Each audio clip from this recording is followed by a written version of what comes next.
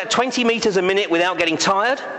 It lives longer, has more sex, eats more without gaining weight. Could the science that created this be applied to humans? Yeah, bring it on.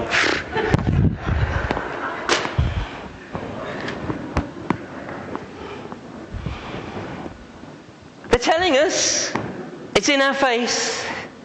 You know, we are a nation addicted to pills. Not because we want to be addicted, but because the pharmaceutical industry needs us to be addicted. It's critical. Big Pharma has a very, very simple philosophy. From the moment a life form is conceived until that life form deceases, it is a revenue stream. From conception to death. What is interesting in this book, The Corporate Crime, the, the guy, uh, John Braithwaite, uh, actually tries to understand the mentality because it actually rocks him that the people he's talking to, the people he's interviewing, all seem like nice family men individually. And I'm sure Joseph Mengele was a lovely guy. But collectively, collectively, these guys take on a completely different persona. There is not a, an ounce of humanity in their agenda. There's not an ounce of compassion. It is totally about profits. It's a bit like the American military trying to find ways to kill people remotely. You know, if you can remove the face to face contact, it's a lot easier to get people to do things that they wouldn't do if they can actually look in the, the whites of the eyes of the, uh, the individual. So, Codex. Codex is a very, very complex structure, and I mean, this is just sort of an introduction. But Codex consists of 27 different committees looking at a whole bunch of different aspects associated with the entire food chain. And you can, uh, you can look at this yourself. I will give you some websites later on to look at it. But there's two particular committees that really impact on everything else. And that is these two here. And this is the nutrition and foods for special dietary uses, which is um, uh, hosted by Germany, and food labeling, hosted by Canada. Now, these two committees impact on all of the others put together. And so, when I talk about um, Codex, in most cases, I'm talking about these two committees.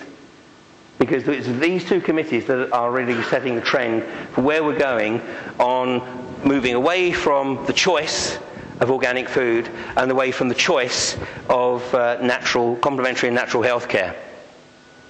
This statement, and, and, you have to forgive me for using the quote because this guy is a lawyer, so um, you know he, he, has to use 100 words when you know, probably two would do. But this is, I think, a pretty good summary of the whole thing. He says Codex is the political equivalent of the current toxicology manuals because it endorses and promotes for international trade and consumption in the whole wide world everything from pesticides to irradiation, genetically engineered foods, and synthetic analogues for drugs and nutrients in preference to biocompatible natural substances. Now, what we're talking about here is the process of gradualism. So, you know, if somebody says to you, oh, organic food, we're still going to have access to organic food in 2010, they're probably right. They're probably right. But if somebody says, oh, we're still going to have organic food in 2020, right now I would say they're probably wrong. Because this is the process of gradualism, and what the Codex committees do, because they're under phenomenal pressure from the uh, pharmaceutical companies and the likes of Monsanto, they do it through gradualism. So it's little by little, push a little. And then every now and again they'll give a little, so they take your eye off the ball. I mean, as in France recently. You know, in France, they said, okay, you know, and what was announced in the media is the number of acres dedicated to organic farming would increase. And that was what hit the media. What they didn't say was that the number of acres that was going to um, be handed over to GM crops was going to increase at three times the rate. You have to find what's not written. Codex was actually started in 1962, and I'm quite prepared to believe that the, the people who originally dreamed up the concept were, uh, you know, erring on the side of benevolence. It was only after the likes of Monsanto and the likes of the pharmaceutical industry saw the potential for reaping the benefits of Codex that they started to get in on board here. And of course, what we're talking about here is organizations that have basically bottomless pockets. Now, bear in mind, I said in 2002, the profitability of the top 10 pharmaceutical companies exceeded the profitability of the other 490 companies in the Fortune 500. Now, these guys have got people, teams of people, working on strategies to maximize the opportunities brought about by the implementation of Codex Alimentarius. I mean, this, I'm going to show you, this is a real David and Goliath situation. And I wouldn't be here tonight if I didn't think that David had a chance. I think David's got more than a chance, but there's a lot of groundwork to do to really give, that, give David a chance. Codex serves the economic interests of Big Pharma, and what is really a concern is that the World Trade Organization will implement Codex using Napoleonic law. Now, I wouldn't be at all surprised if there's hardly anybody in the room who knows what Napoleonic law is because it's something that hasn't existed in the UK since 1215. Because in the UK, since Magna Carta, we've had common law. And what common law is, is that if something, unless something is specifically banned, it's okay. Right? So unless something is specifically mentioned in a piece of legislation to outlaw it, it's okay. Napoleonic law is completely the opposite. Unless something is specifically mentioned, it's banned. And the way the pharmaceutical companies work and the way the food companies work is what they're trying to do with the Codex committees is make the testing process so outrageous and outrageously expensive that the only people that can afford to get things on the approved list will be the Monsantos and the pharmaceutical companies. Nobody else will be able to afford to go through the rigorous tests that you have to go through to get a product onto the approved list. I mean, this is outrageous. It's completely outrageous.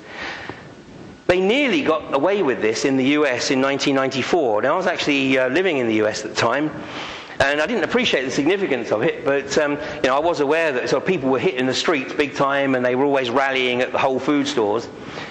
Well, right across the US, hundreds of thousands, probably millions total, got, uh, people hit the streets, and they were protesting against the implementation of Codex Alimentarius.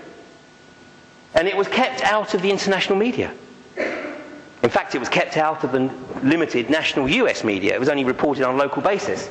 So the people in Texas who were protesting actually didn't realize the people in all the rest in the other cities around the states were also protesting. But people were writing to their senators, and eventually the Senate realized that actually there was such a groundswell of opinion here, they needed to do something about it. So this legislation, the DSHEA legislation, which is the Dietary Supplement uh, Health Education Act, was implemented in 1994. And this effectively put a ring fence around the, uh, the health food and complementary health and um, alternative therapy industries in the US. So what did the Codex Commission do? Just go, damn. Okay, let's turn our attention to Europe. So for the last 13 years, they've been, you know, trying to eat away at the protectionism of the individual countries within the European states.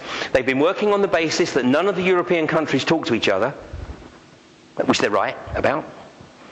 The British government has washed its hands of this. So, I mean, you should write to your MP, as I will talk about later.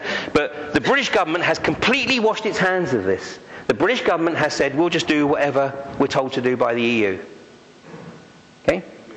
Which is basically what has to happen anyway. Because the EU issues two things directives and regulation. And if they issue a regulation, basically that is law. If they issue a directive, what they're saying is look, okay, it doesn't have to be law right now. We're going to let you go through the charade of making it look like you're making the decision. But you have to actually implement the legislation. All the privatization that's going on, it's not this government making the decision to privatize the industries. It's like the German government's not making the decision to um, privatize uh, the Dutch railway system, or the French making the decision. It's EU directive that's coming down the chain. If you don't, uh, there's some brochures at the back here on the EU, and uh, I mean, it does actually try and spell it